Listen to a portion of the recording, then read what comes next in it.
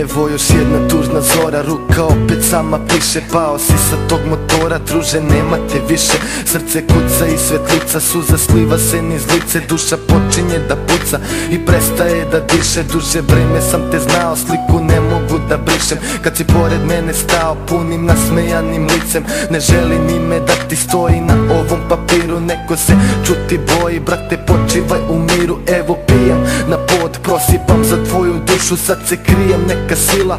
Steže mi gušu Svi oni što su te poznavali Tuguju za tobom Svi oni što te stvarno vole Sada plaću ti nad grobom.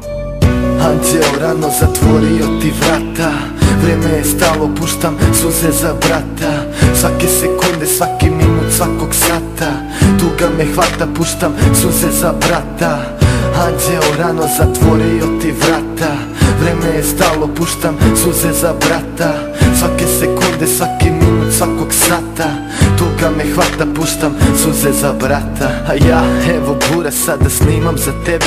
Reko par reći da kažem u ime voljenih i sebe Sanjam te noćima, ne izlaziš mi iz glave Suze u očima, nikako tuga da stane Pokušavam da vratim dane. Tvoje lepe nasmejane Ali nestalo je sve.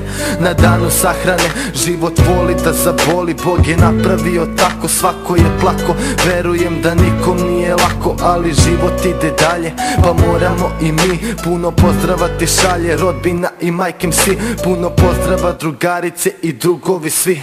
Voliš je, znam, preneću to tvojoj devojci. Svi će ovu tvoju nesreću teško preboleti. Bože čuvaj nam ga tamo, nemoj dati da odleti. Evo ja ću se oprostiti još jednom za kraj. Nadam se da si tiho i mirno otišao u raj. Anđeo rano zatvorio ti vrata.